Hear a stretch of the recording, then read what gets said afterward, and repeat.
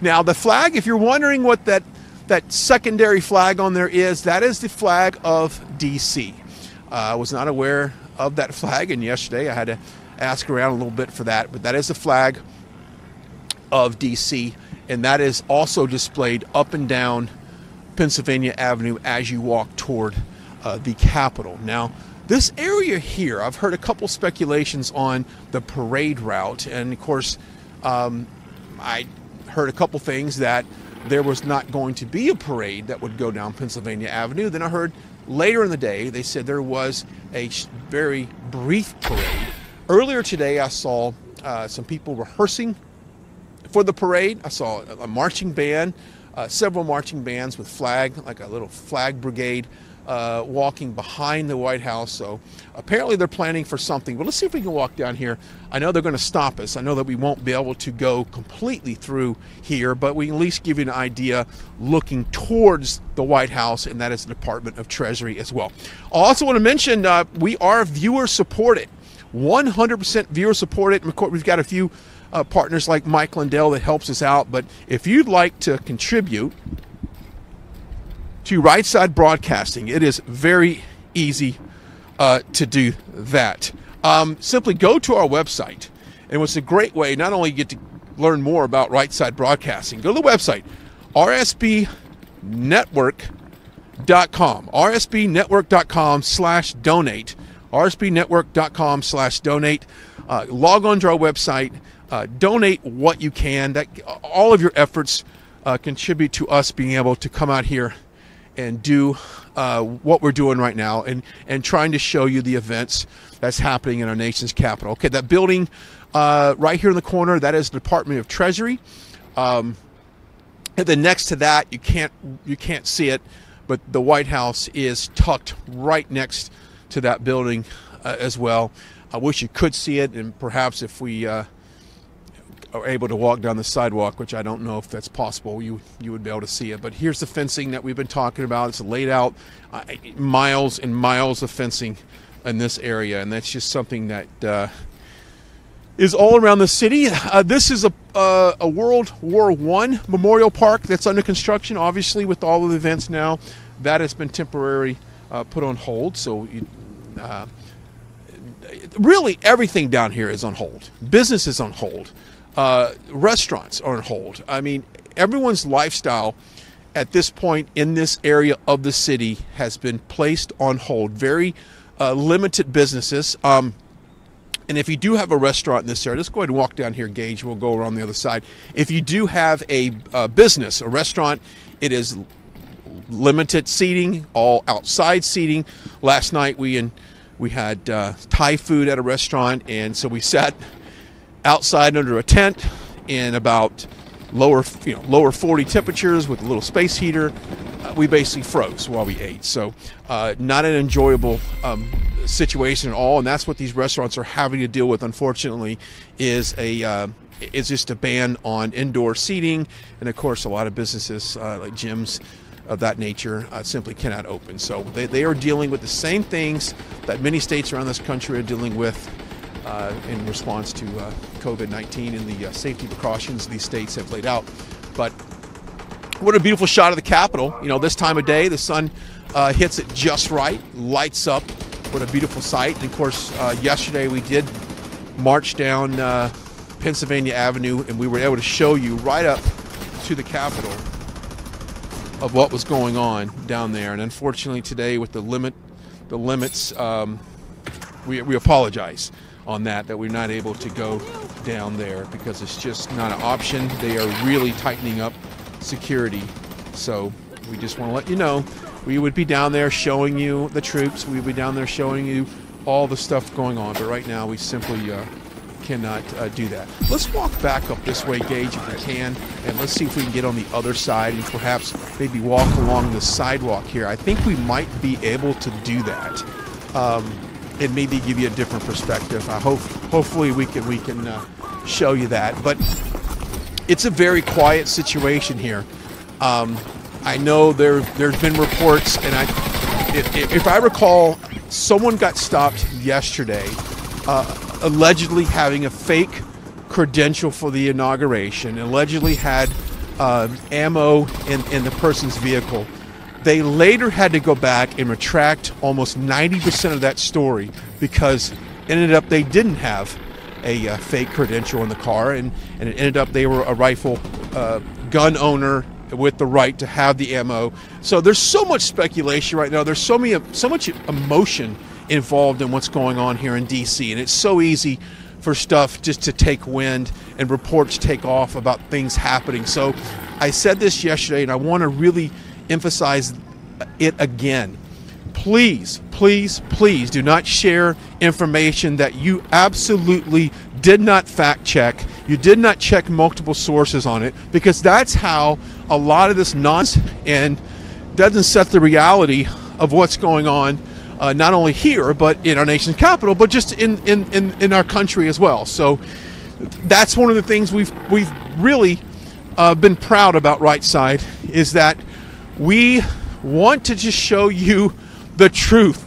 We don't want to spin any, spin a story. We're, we're gonna we're gonna really shoot straight with you as far as the truth, and that's one thing that we're really I think has set us apart from a lot of uh, media outlets that um, whether or not you like the truth or not, we're going to tell you the truth. And um, so I just want you to be mindful that when you get stories on the internet, to uh, just be very careful uh, not to uh, just share fake stories. Okay, let's walk around this way, and uh, we'll come back up. Uh, very few people walk in the streets, actually. Um, I, Gage will tell you it was there were more people yesterday, but maybe that was because it was a Sunday. Monday being, you know, a work day. Of course, today is, you know, a national holiday with ML King Day, but just no one's down here. It's very, very quiet uh, for a Monday, even a Monday with a holiday. Uh, extremely quiet. Um, we can walk. Let's see. We can walk down this way, Gage. You want to go straight? Or you think we should turn? What do you think? Let's go down this way. Perhaps we'll be able to walk in front of uh, this building here. So bear with us. We, you know, yesterday we were able to walk all the way down to the Pennsylvania Avenue to the Capitol, and that's just not the case today. And as we get closer, and we were told that as we get closer and closer uh, to inauguration, things are going to change, and the security protocols change. People, the, the press tent that we would normally check into by the White House that is is moved constantly as well. So we apologize for kind of having to do this on the fly, but that's just the situation where we're at right now uh, in this country. Also, we'll talk a little bit about social media.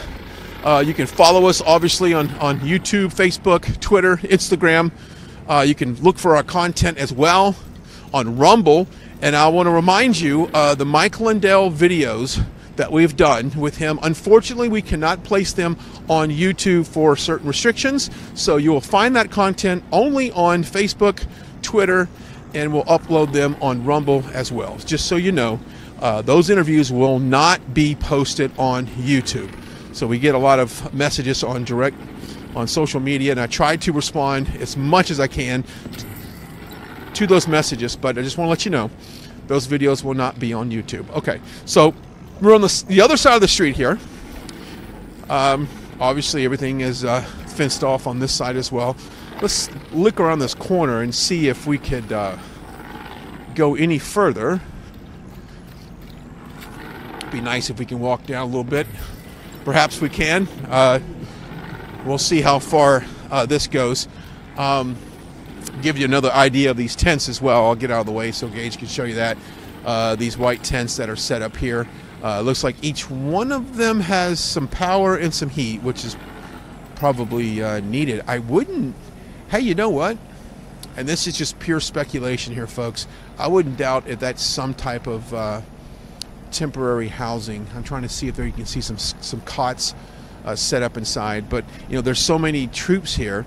You have to wonder where where are they all sleeping? Now I know we have several even in the hotel that we're at, in the JW Marriott, is behind us. I've seen them. Um, actually, the first night we were here, uh, I, I, saw a lot of troops uh, get out of these uh, Greyhound buses uh, and offload right here. So obviously, um, troops in hotels, but I, I don't know what those tents are. So, um, a lot of uh, you see a lot of Verizon trucks here. I will say this: that up and down the uh, National Mall before it was completely restricted, there was a ton of independent communication towers everywhere. Uh, just a bunch of towers, and I don't know if they were planning for this many people coming, and then all of a sudden your service goes away. I, don't know much about that. Let's see if we can walk down the corner. There's a there's a Bank of America. Uh, I'm sorry, the Wells Fargo on the corner here, and I'll give that flag. Let me see a new flag. Uh, I don't know. Gage pointed out a flag up there. I, I, you know, Gage, I'd like to say I've seen it before, but I have not noticed uh, that flag.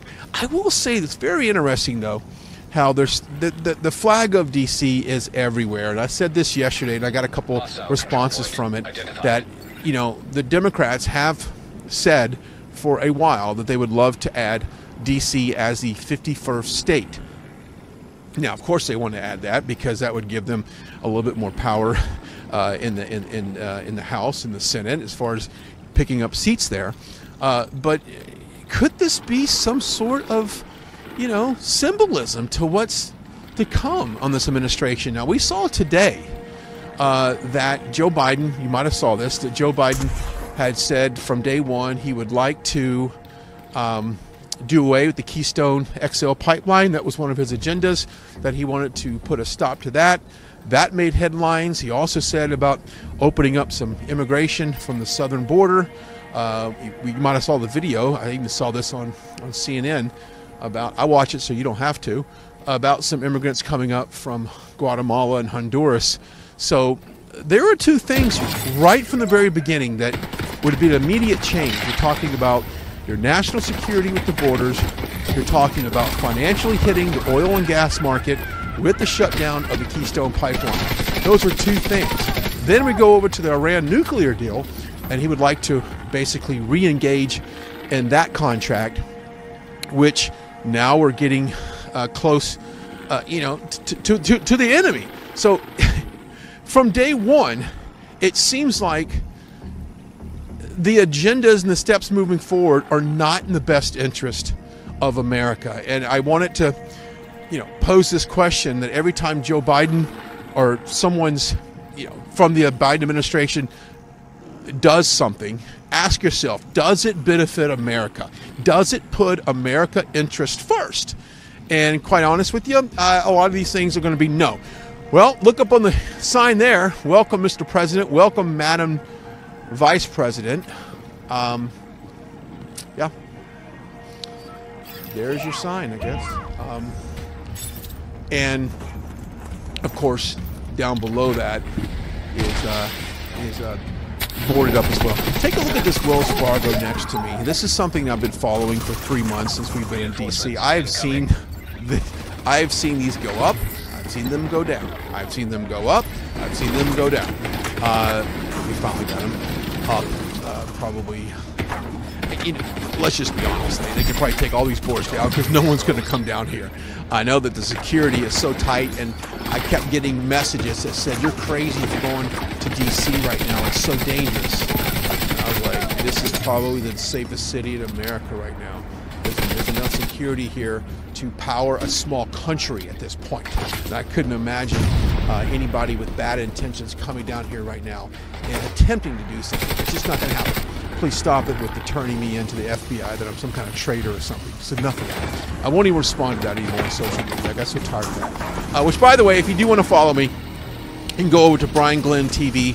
That's B R I A N G L E N N. Brian Glenn TV on uh, Twitter and look for my uh, Facebook page as well. My um, I got a verification page that's more my professional page, so that's where we have all our stuff on there. Follow me there, and then on Instagram as well if you if you want to do that.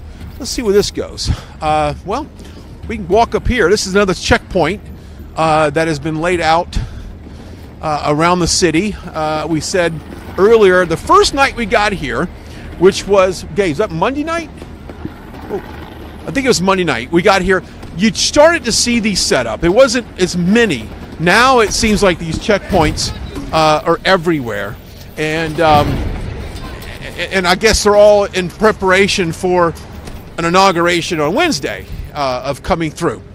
Um, it, it, just it seems like a little bit of an overreach, in my opinion. Um, we have been to dozens of Trump rallies. We've, you know, Right Side Broadcasting has been just, just just about to everything that Donald Trump goes to.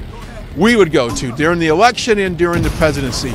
We were all over it. So, um, to, we saw those crowds, and we saw the infrastructure set up to handle those crowds. What we're seeing here looks like small cities could come through here. I mean, the the access, the the, the, the infrastructure, the fencing is really something I've never seen before on a large scale. Super Bowls, World Series, Stanley Cups, you name it. I have not seen the infrastructure laid out like I've seen here. It is unbelievable. Um, well, this is just gives you another idea. Uh, this is all over the place, and of course, we tried to go through some of these, and we were denied earlier. Hey, I want to talk about a good friend, Mike Lindell. Now, as a reminder, his interview will air later today, 7 p.m. Eastern, and we'll go into our prayer at 8 o'clock uh, Eastern. And um, it was a sit down, talks about his latest developments from DC, uh, some of the conversations he had, uh, and also the plans of his business and what's going on with him right now. There's, you know, he's fully engaged in a cancel culture of people trying to boycott uh, MyPillow. So if you could please go to mypillow.com, mypillow.com, and put in the promo code RSBN. The uh, deployment of these uh, dump trucks are everywhere around the city as well. Get a shot of that right now. Um, snow plows, dump trucks. Uh, it's just they've really utilized just about any piece of equipment uh, to block off streets. God forbid there's a snowstorm here. I'm not sure they're clearing off a single road uh, because of all that. Let's walk up this way. We'll go through the security checkpoint up here and show a little bit because we really can't get down below at all. It's all completely completely blocked off. But let's walk down here. We are now on uh, this is uh, what street is this? I don't know. Uh, F and 13th. F and 13th Street. We are walking, and you know, here it is on a Monday, and there's basically no one out here. And, um,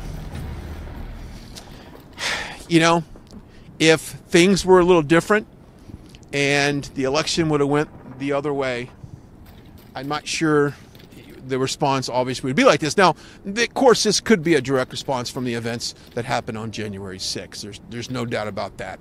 I, I did talk to one uh, troop uh, and uh, personnel, uh, National Guardsmen rather, and they, and they, said this was a direct response from the mayor of D.C. requested a lot of this military here to protect her city from any type of uh, potential insurgents, um, which is something we just, you know, like I said earlier, with the amount of security here, I, I, I don't see a single bad person, a bad guy getting in this place. It's just uh, not going to happen. So we are walking down uh, 13th Street here.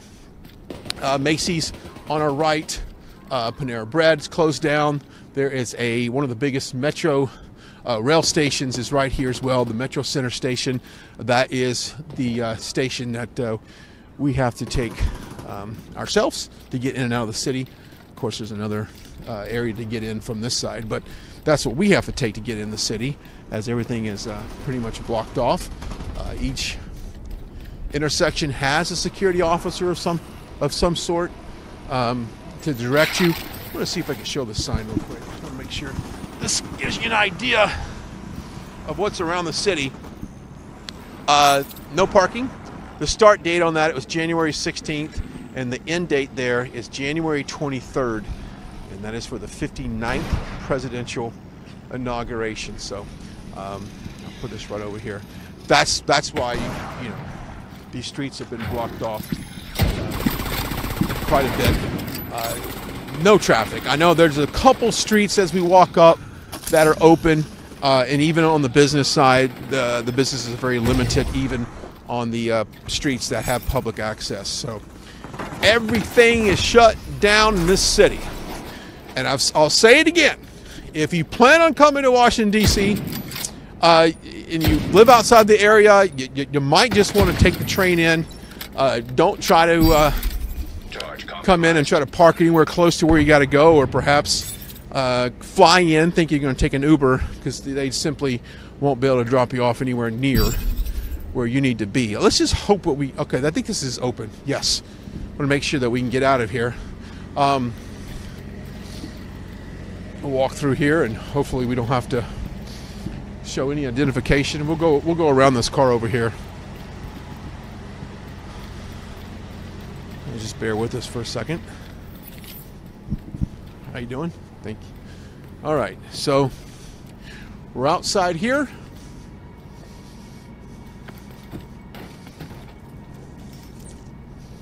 Also, a reminder if you want to see more of, you know, if you want to go back and relive some of the presidential moments of the rally, you can go to our YouTube channel. We have a ton of footage there. You can relive some of his greatest speeches that he's given at these rallies, and so you can watch him in its entirety. You can see all the the pre uh, pre-game stuff as well. So go to our YouTube channel, Right Side Broadcasting, and uh, catch up on some of the greatest moments from our president over the uh, campaign season. There, we have it all there. And of course, you can go to our website, rsbnetwork.com, rsbnetwork.com, and if you care to uh, donate to us, uh, you can do that as well. Go to rsbnetwork.com slash donate, and you can do that. Um, okay, so we're now 13 and H, a little bit more uh, pedestrian traffic here.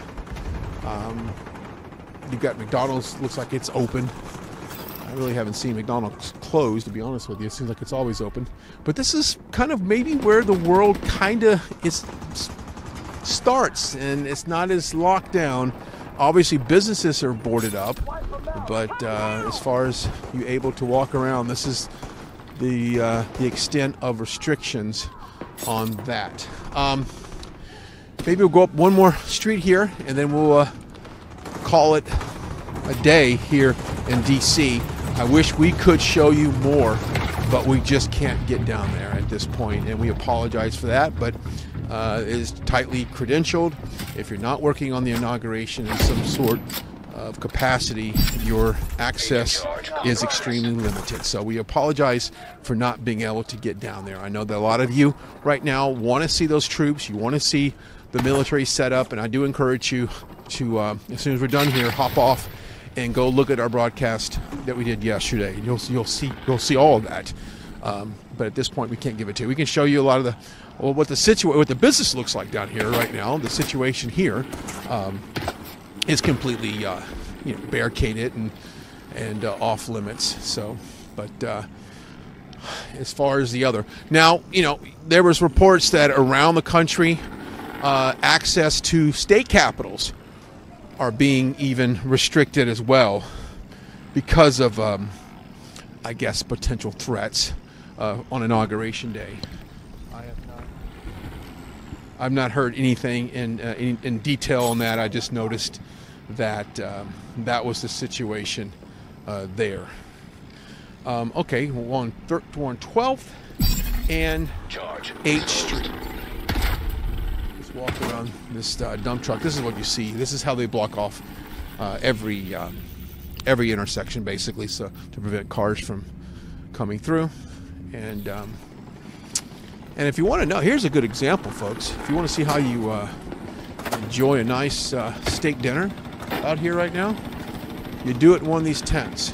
And, uh, and okay, we're in the middle of the street here. Hang on a second. Yeah, let me back up. Um, anyway, this just gives you an idea of what the outdoor dining situation looks like here in uh, D.C. Very difficult time to um, operate a business right now. This is what it looks like. Um, We've got a Marriott there, a couple other restaurants here in the area. But uh, we walked, I remember I flew back from Arizona on New Year's Eve, and there was absolutely uh, no one out at these restaurants eating. So, uh, what a financial hit a lot of this has taken on the restaurant industry. All right, I want to remind everybody uh, once again, programming note: we will have our Father Frank uh, prayer time tonight at 8 p.m. Eastern. But prior to that, we will have our Mike Lindell uh, part two video with him.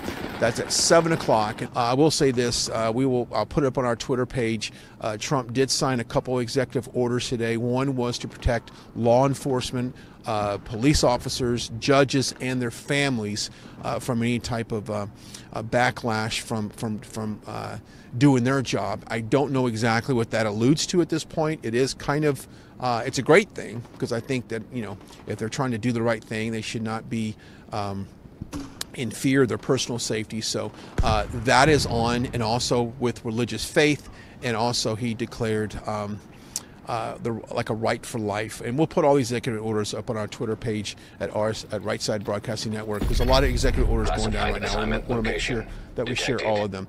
Um, so here's the stage. You know, I'm hoping that maybe tomorrow we get. Th- I know things change so much as far as the access that we can go to, but uh, at this point, this is a situation outside all of the lockdown area, and we certainly appreciate you hanging in with us. You can follow me on social media, Brian Glenn TV, and you can, of course, follow us across our platforms for Right Side Broadcasting as well. From DC, Brian Glenn, until next time, goodbye and God bless.